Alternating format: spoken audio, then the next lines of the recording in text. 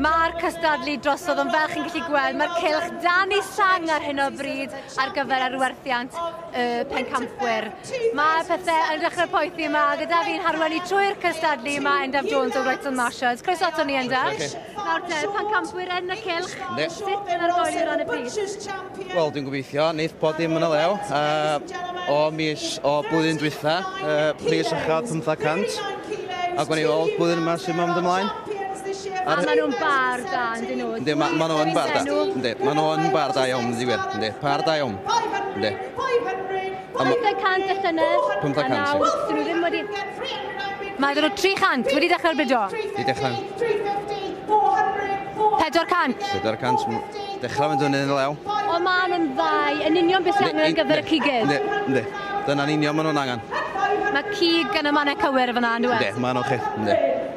Robin Slade fyna o Henffordd yn gweithio'n galed iawn i drio denu mwy o fudiau? Ne, mae'n gweithio'n galed iawn.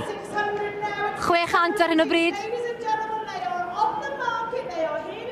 Dwy o'n fenw arbennig o dda fyna, 600. Ti'n meddwl bydd yn mynd yn fwy, Endaf? Dwi'n mwyn gwybod, dwi'n gobeithio. Maen nhw'n edrych eithno, sy'n i ddweud tair pent 80 y kilo yw farchnad y gyffredinol ar hyn o bryd, ond mae'n rhywbeth arbennig yn dyn nhw. A cigyddio fel arfer eisiau gwobre yn i siopau am deg yma'r flwyddyn ar gyfer y Nadolig. O, di gwerthu. 600 am yr byddigwyr. Falle nhw'n siŵr o fod yn disgwyl mwy fel ni'n tybio? Dwi'n meddwl bod nhw'n disgwyl mwy, ond um, fel mae tre di bod heddiw, um, mae pod i'n gwerthu'n dda iawn. Wedyn, ne. Wel, Mae'r is bencampwyr yn y cilch nawr o eiddo Steve a Sarah Gibbons o Aberhonddu. Eto par neis iawn eto, uh, neis i'r cigydd eto. Um, ac o'n i weld. Dau o'n fenw Texel nawr. Mae, ma nhw'n bar neis, hwnna dwi. A mae'r gigyddion yn moyn rhoi rhyw fath o anreg i'w cwsmeriad adeg yma'r flwyddyn, rhoi rhywbeth nôl am eithaf London bys y flwyddyn. Ynddi, mae'n ma, ma, ma neud lot o waganiaeth, ynddi. A mae'n mae blesar iawn gael bod yma heddiw uh, yn ganol yr anifeiliad gwych mae gyd. Pedwar can pint am yr is ben campwr ar hyn o bryd. Mae nhw'n mynd yn dda iawn, di gwir. Pedwar 4.30.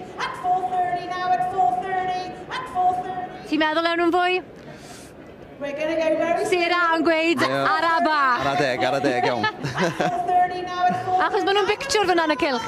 Ynddi, maen ma nhw'n neis. Ynddi, maen nhw'n bar neis iawn. Maen nhw'n gweddi o gilydd i'r dim yna. Ynddi. Bydde reina yn ddwy o'n fenw neis i fagu. Mi fydden nhw'n neis, beth. 430 am rheiniau.